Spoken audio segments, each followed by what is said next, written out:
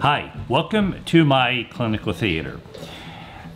I love all the materials we have to use today. I'm just like a kid in a treehouse of dental materials and with the software and the CAD CAM and all the imaging devices I have, particularly the Primescan, I'm in what I call digital heaven.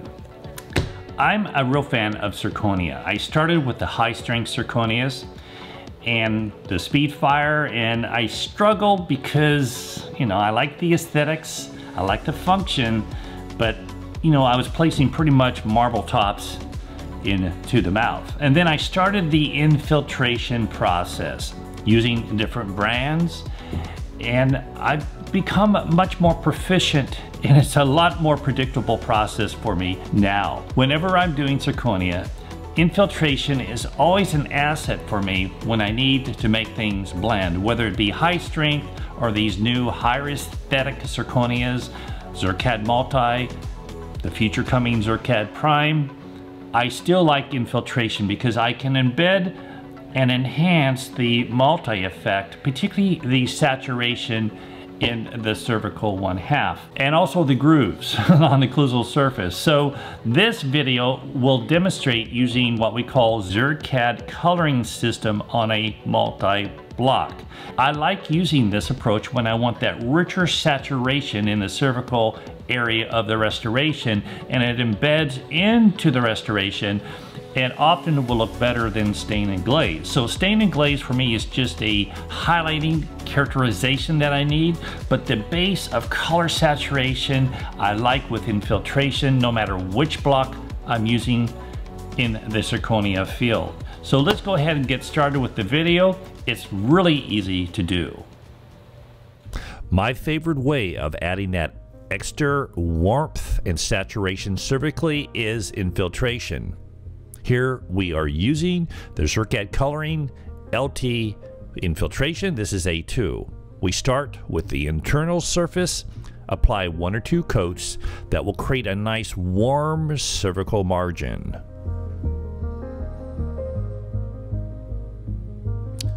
Orthodontic wax, that's my favorite way to hold these restorations. This provides great access to those external surfaces.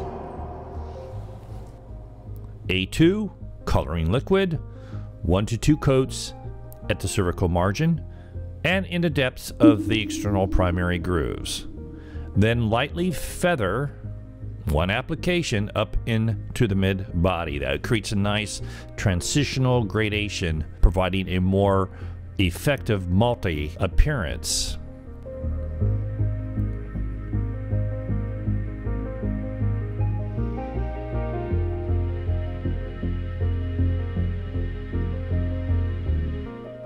Here's a basic concept to remember.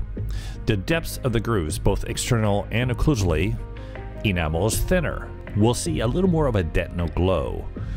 One to two applications with the A2 coloring will provide a nice, soft dental color at the depths of those grooves and pits. With color in the brush, dab the tip of that brush into those grooves and pits as that brush spreads out, it creates a nice natural gradation of where your most saturated color is at the depth and then it fades into the triangular ridges.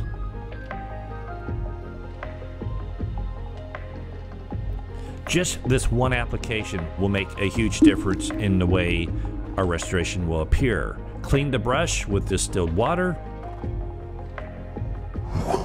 now we're going to go with violet. Violet is used sparingly on the cusp tips. It provides a little more of a translucent appearance on the line angles around the cusp.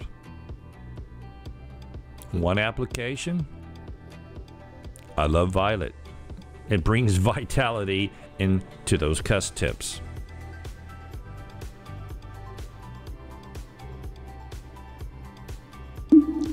Clean the brush between applications of colors, distilled water. Now we're going to use brown. Brown is carefully placed on that cervical margin, one application, otherwise it gets too brown. The brown will create that nice natural transition as you would see enamel going into the root area. Often these crowns are subgingival, so if we do see recession in the future, it will appear natural. In one application, in the central groove and pits.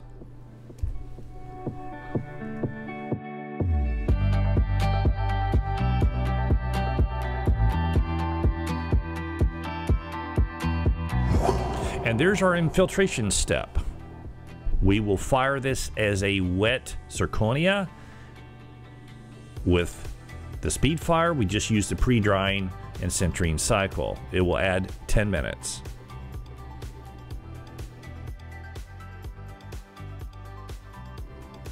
Make sure that you let the restoration cool down before retrieving.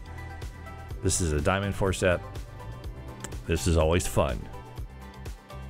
I'm looking forward to the next step, and that's finishing and polishing.